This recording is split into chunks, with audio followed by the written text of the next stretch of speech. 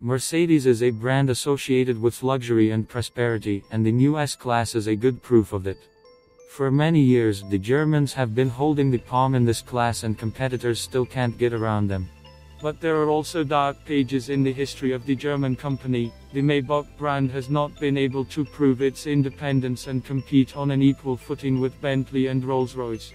It came to such an absurdity that Mercedes staged a massive sale of leftovers, and after some time a separate brand was redesigned into a division of Mercedes-Maybach. And it happened in 2015. At the same time, rumors began to spread on the network about the possible appearance of an even more luxurious car under the U Class Index, which stands for upper class or upper class from German. According to the same rumors, this car was supposed to occupy the upper segment over the S Class and offer even more luxury and exclusivity. Considering that the launch of the Maybach brand as a separate unit ultimately failed and Mercedes has no direct independent competitor to British brands, such an idea at that moment had very real grounds.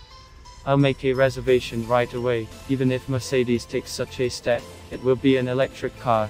Taking into account today's trends of the company, it makes no sense to produce another model with a 6-liter V since with another engine this car will not be able to compete with the same Rolls-Royce, and it will be perceived differently. The second reason is internal competition with the Mercedes-Maybach sub-brand.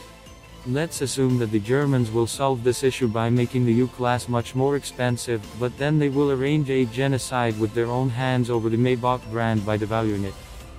So this option is simply impossible and the U-Class with a gasoline engine is fake.